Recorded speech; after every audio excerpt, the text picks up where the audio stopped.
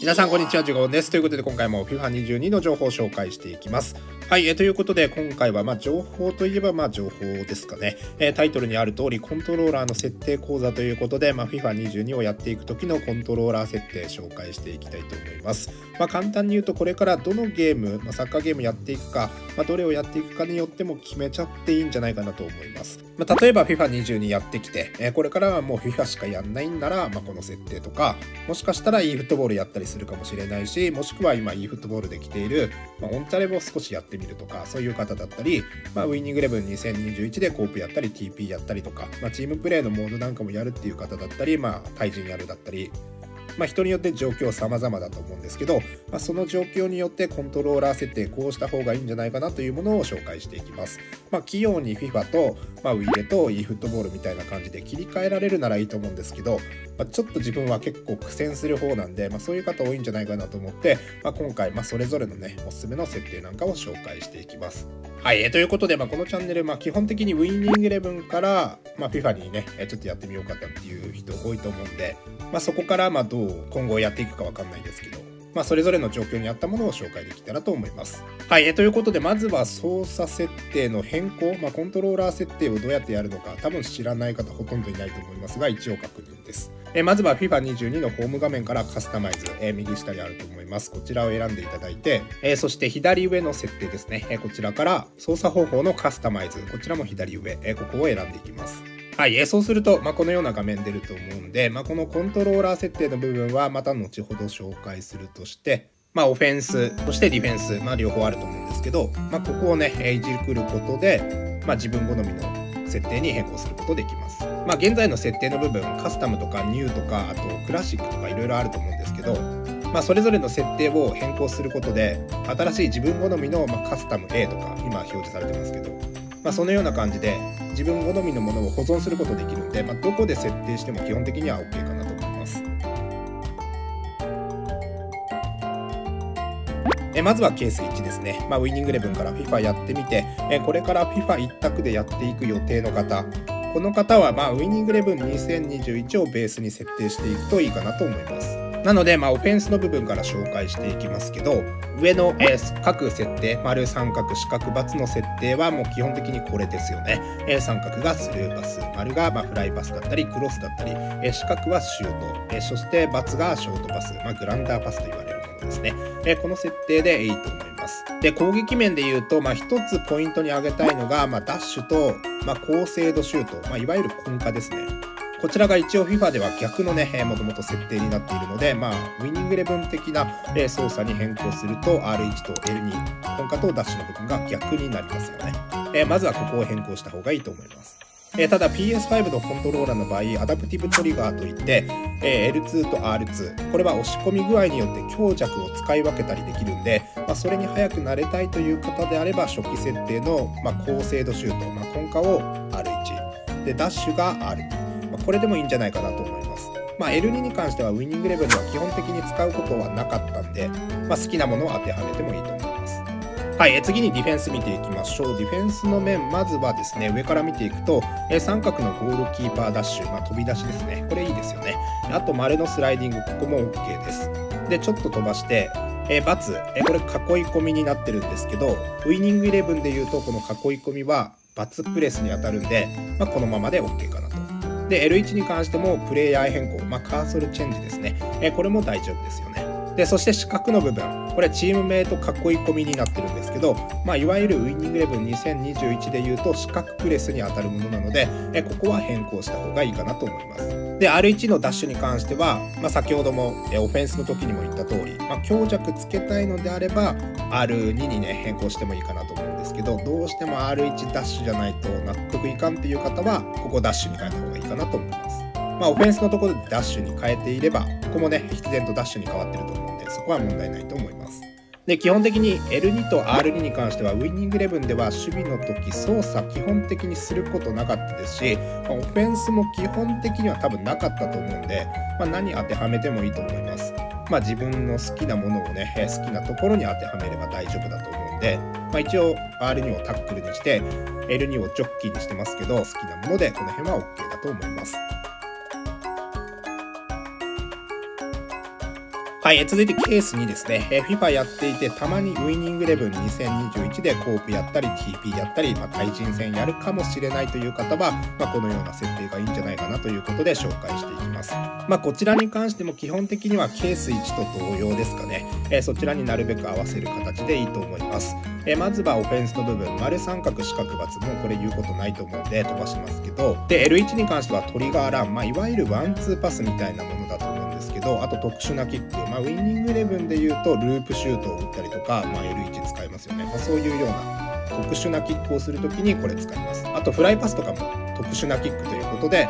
まあ、ウィレでも L1 と三角で使いますよね。まあ、そういうような使い方なのでそういえば先ほどここ言わなかったですけど、まあ、そんな意味なんで、まあ、変える変更をする必要はまあないでしょう。ウィニングイレブンと基本的には同じ操作になってます。L2 の、えプロテクトに関しては特にウィニングイレブンにはなかった操作なんで、まあ、何でも OK かなと。で R1 と R2 に関しては、まあ、どうしてもダッシュ R1 じゃないと納得いかんという方はここ変えた方がいいかなというところです。ただまあ今後多分ダッシュは基本的に R2 になっていくと思うんですよねゲーム的に、まあ、どのサッカーゲームも。強弱つけれた方がいいみたいな感じだと思うんで、まあ、鳴らしたいという方はその辺も早めに鳴らした方がいいかなと思うんで、その辺はお好み。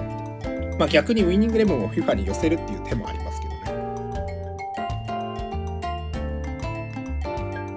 はい、ここからがケース3ということで、まあ、FIFA やっていきつつ、まあ、e フットボールもやる予定だったり、まあ、今オンチャレ来てますけど、それちょっと毎週やるよっていう方は、ちょっとややこしい説明になるんですけど、大丈夫かな私説明できるんでしょうか。えまずはですねオフェンスの部分なんですけど、まあ、三角丸四角×、まあ、これはいいですよね基本このままで OK だと思いますで L1 に関しても基本的に e フットボールもワンツーで使ったり、まあ、ループシュートを打つ時に使ったりするぐらいなんでまあ大丈夫かな。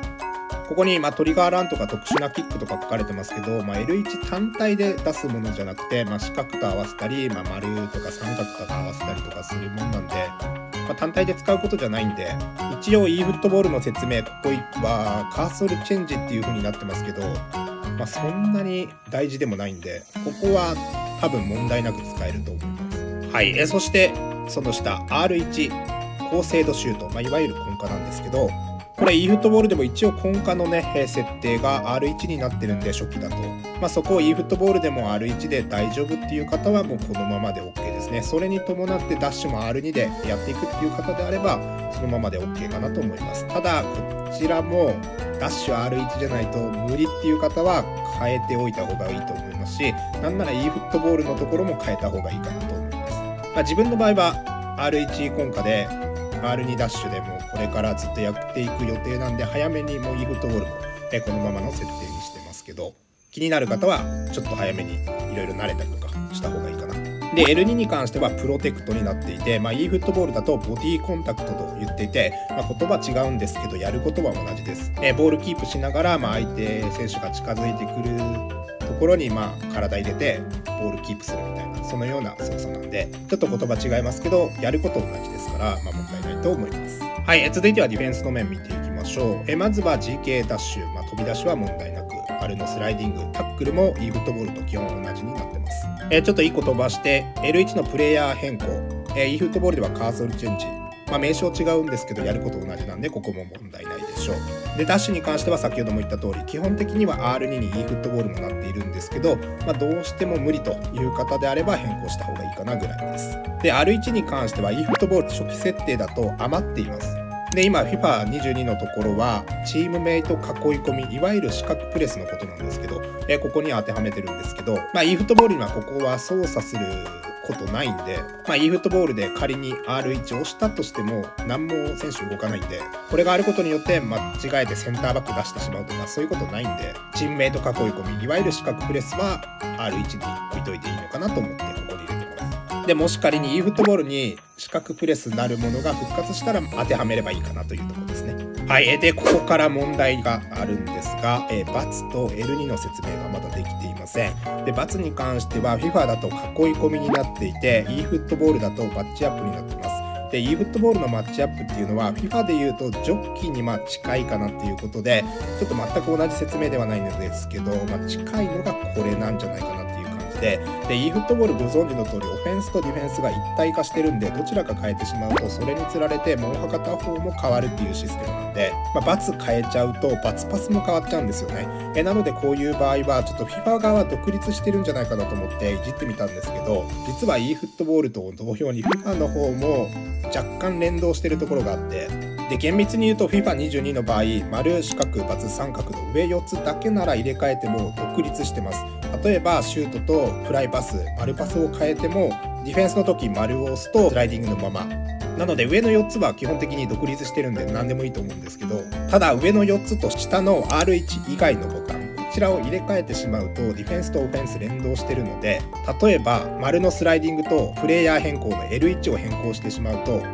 オフェンスでもそれが判例されてしまうんでクロスだったりが L1 になってしまうが発生します。でさらにプラスして L2 と R2 と、まあ、それぞれ12ボタンあると思うんですけどえこちらの4つのボタン内でもいじってしまうとオフェンスとディフェンス連動してしまうんで、まあ、そこも問題なんですよね。で先ほどウィニングレブン2021と、まあ、共通の操作にしてダッシュを R1 にしてっていう説明したと思うんですけど、まあ、そこは問題なくて基本的にオフェンスとディフェンスダッシュはどちらも使うものなので、まあ、そこは R1 でも R2 でも共通にしておいた方がいいところなので、まあ、そこ問題ないんですけど、まあ、例えば、まあ、トリガーラン特殊なキック L1 と R2 のダッシュ変えてしまうとプレイヤー変更、まあ、カーソルチェンジとダッシュのボタンもディフェンスの時に変わっちゃうんでそれは結構問題なんですよね。で先ほども言った通り e フットボールでは×はマッチアプリになっていてそれに近いのがジョッキーなんですけど、まあ、設定するとバツパスも移動しちゃうんで、まあ、ちょっとさすがに私はバツパスは譲れなかったんで、まあ、この囲い込みがバツジョッキーが L にこれがいいんじゃないかなということで妥協でこれにしてます。はい、えということなんで、まあ、守備値、バツと L2 に関してはどうしてもちょっといじること、ここ、これ以上はちょっと難しいんで、まあ、この辺は各ゲームやるときに、バツと L2 の操作だけは気をつける必要があると思います。バツの囲い込みに関しては、FIFA だと囲い込み、ボールホルダーへ向かっていくようなプレーをしています。で e フットボールだとマッチアップなので、まあ、どちらかというとディレイ、まあ、選手には近づくけどそれ以上いかないみたいなそんな操作だと思うんですけど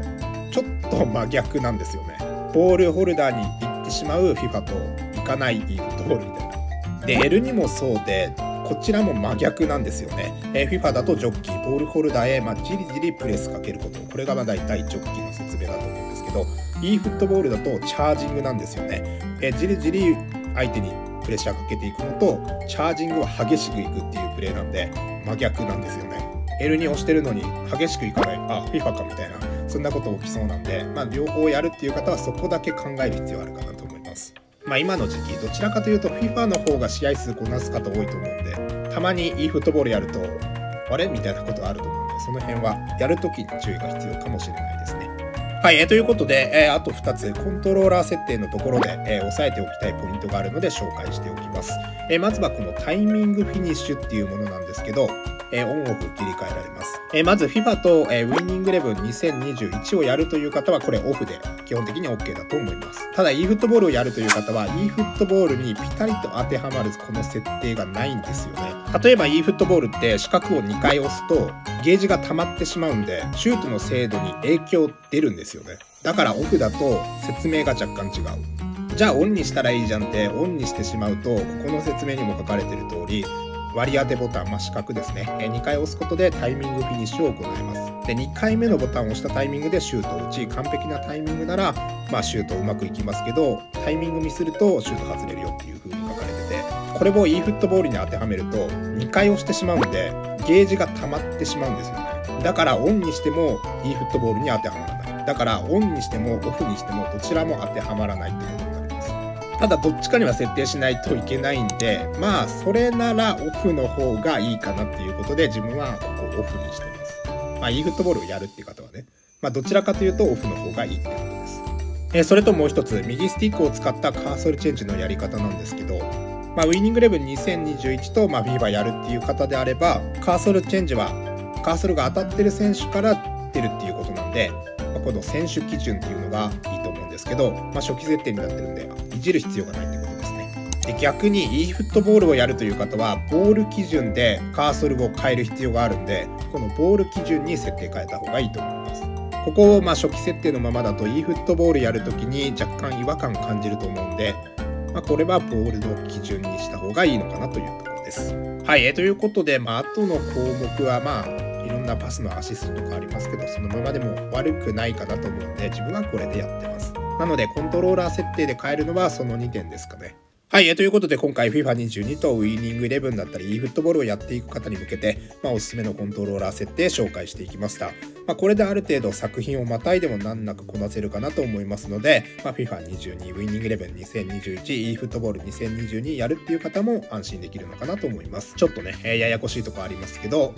それ以外はなんとかなると思います。ということで、こちらのチャンネル FIFA22 の最新情報の動画だったり、FIFA22 をやっていく上で役立つ情報なんかも紹介してます。もちろん eFootball 2022情報も随時紹介していくものがあれば紹介しています。まあ、これから FIFA22 だったり eFootball やっていくよっていう方はぜひチャンネル登録、高評価などよろしくお願いします。ということで今回の動画はここまでです。ご視聴ありがとうございました。